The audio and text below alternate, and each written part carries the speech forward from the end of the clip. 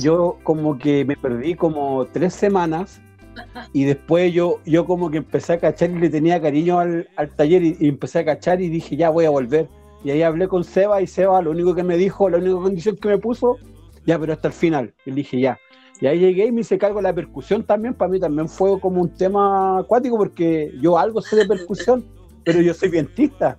Entonces tuve que hacer casi todas las líneas rítmicas, melódicas eh, de, los temas. Entonces igual fue una experiencia súper especial también, ¿no? Pues yo admiro el tema, el, disco, después de un año ya, lo, como que lo, tengo en mis manos así y digo, wow, ¿qué hicimos?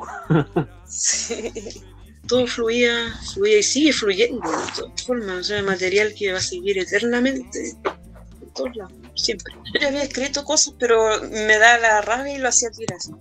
Cositas así como que escribo hartas cosas pero las melodías igual como que andan, siempre andan dando vueltas y grabo alguna cosita, pero me falta como más la composición. Igual yo estudié un poco de música, un semestre igual sonido, porque me gusta mucho eso. Y por razones, bueno, personales no seguí, pero siempre ha estado en mí esa inquietud, como que siempre yo, la música para mí es, vida. Yo también tuve mis bajones en su momento.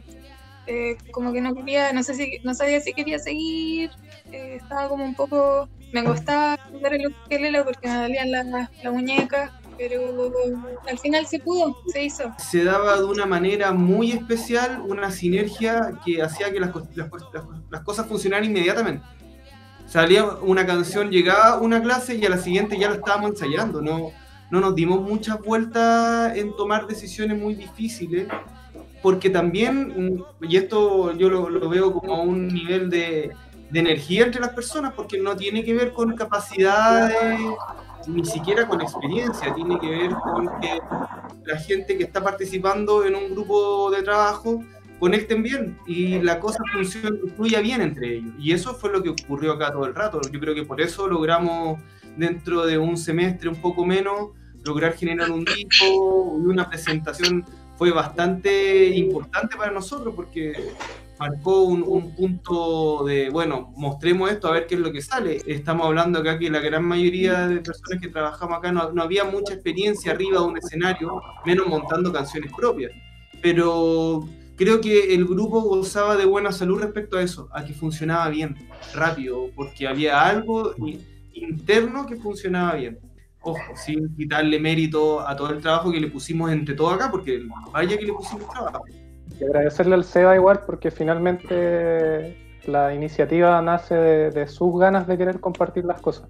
Él se entregó de una forma muy humana a participar con todos nosotros, pues, así que vaya también un agradecimiento a él, que es súper eh, importante en, en el resultado final de este taller. Hace rato soy un convencido de que hay que, dependiendo de las herramientas que uno tiene, hay que generar algunas cosas distintas. Y para mí, una cosa distinta a lo que yo venía haciendo constantemente era hacer un taller en un lugar así con esas características. Ese cliché que muchas veces le hemos escuchado a todos nuestros profesores a lo largo de la vida, que uno, el profesor aprende mucho haciendo clases, en mi caso acá como el encargado de llevar este proyecto adelante, eh, aprendí un montón de cosas, claramente.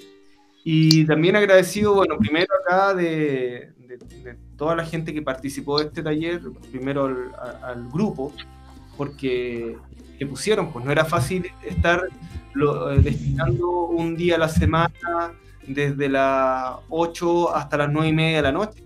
Eso eh, durante un semestre, eso es harto. Me, siento muy muy halagado, muy recompensado por esa disposición.